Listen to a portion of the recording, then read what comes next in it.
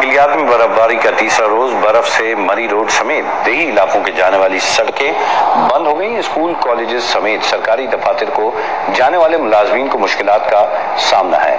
इस वक्त रमीज राजा हमारे नुमाइंदे जो गिलियात में मौजूद हैं तफसीत उनसे जानेंगे। जी रमीज, बताइएगा इंतजामिया की तरफ़ से कोई मशीनी बर्फ़ हटाने के लिए लगाई गई है या नहीं?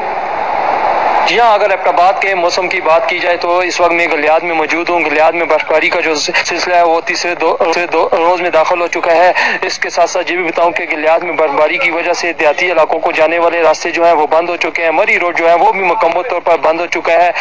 जो, जो मकामी लोग हैं वो घरों में तक मसूर होकर रह गए हैं। जो बीमार बच्चे हैं खातन हैं उनको अहमदाबाद अस्पताल लाने तक भी मुश्किल का सामना करना पड़ रहा है। जलने के ईंधन की अगर बात की जाए तो जलने के ईंधन में भी कमी आई है। इसके साथ साथ महकमा मौसमियात की अगर बात की जाए तो महकमा मौसमियात का जी कहना था कि बारिश और बर्फबारी का जो सिलसिला आइंदा दो रोज तक वफे वफे से जारी रहेगा। अगर गलियार डेवलपमेंट अथॉरिटी और महकमा सी एन डब्ल्यू की बात की जाए तो उनके जो अलकार हैं वो तहार जो है वो बर्फ़ हटाने में नाकाम हो चुके हैं जिसकी वजह से मुकामी लोगों को भी मुश्किल का सामना करना पड़ता है। स्कूल के बच्चों सरकारी दफातर को जाने वाले जो मुलाजमीन है वो उनको भी मुश्किल का सामना है। बहुत शुक्रिया रमीज राजा आपने तफसलात से आगाह किया।